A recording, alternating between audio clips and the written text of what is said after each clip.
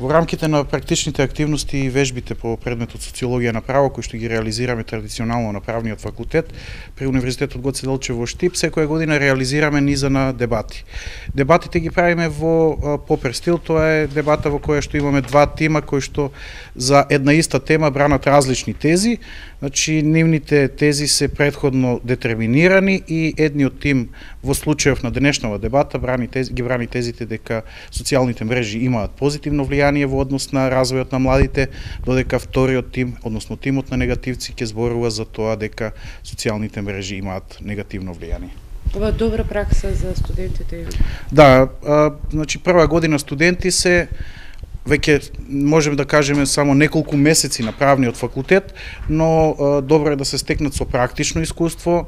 значи паралелно веќе следните години тие ќе работат симулирани судења, како што можеме да се увериме, учествуваат на различни надпревари, значи ова е еден вид на иницијација, односно практична вежба која што ги развива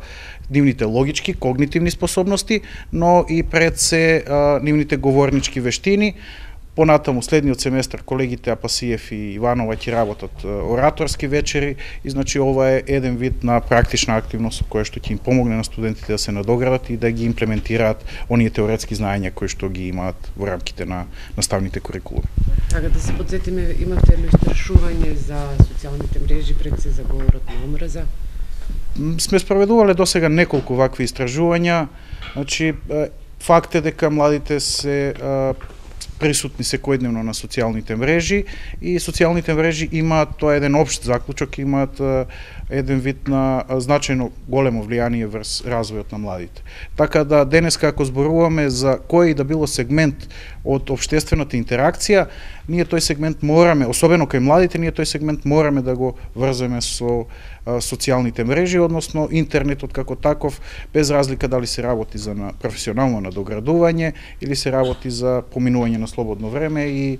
или одредени а, нелегални активности кои што се поврзани нели со сајбер криминал денеска ќе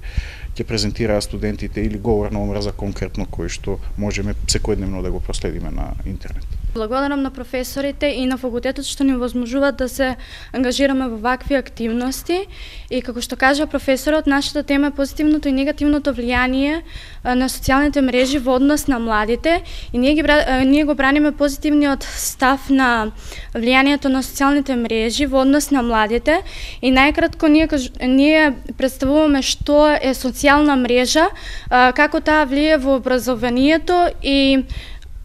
во економијата. И денес заедно со моите колеги ќе зборуваме за тоа како интернетот влијае врз нашите животи, всушност за позитивното и негативното влијание. Јас ќе застапувам тезата за негативното влијание на интернетот. Всушност сметам дека интернетот а, не отргна од оној вистински и реален живот. А, тој а, ни овозможи а, широк број на информации и новости, но сметам дека а, но сметам дека интернетот а, ни представува а, отргнување од нашите од нашите реални животи.